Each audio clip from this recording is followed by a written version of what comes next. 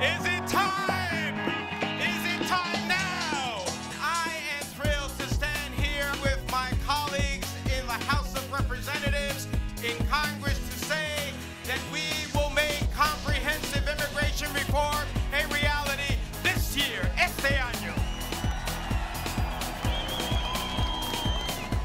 I think this rally illustrates the solidarity of our people all across the nation. This is a, a huge nation of individuals who really believe in the American dream and believe that this is something that is just and fair for our communities to have immigration reform, to have people lifted from the shadows. I might be a dreamer, but my mother's a dreamer as well.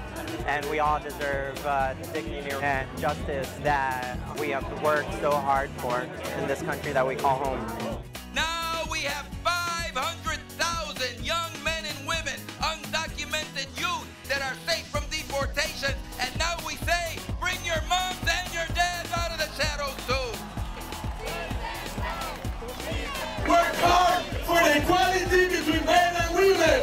That be paid the same pay. Everybody in America deserves the same rights. We want immigration reform. and it speaks volumes to my heart to see so many people waking up and actually fighting for the rights of and helping those that don't have a voice right now. Um, so I just feel really hopeful uh, and I feel empowered and ready to go back to Austin and tell everybody that there's people that are backing us up and that immigration reform is going to happen. Well, being an, an active AFT member, I wanted to give back. And this is not just for me, not just for the teachers, not just for Filipinos, but this is history in the making. When you know you're right, you gotta fight for it. And it, it takes a while, but once everyone's united, it's, it's, no one can beat you.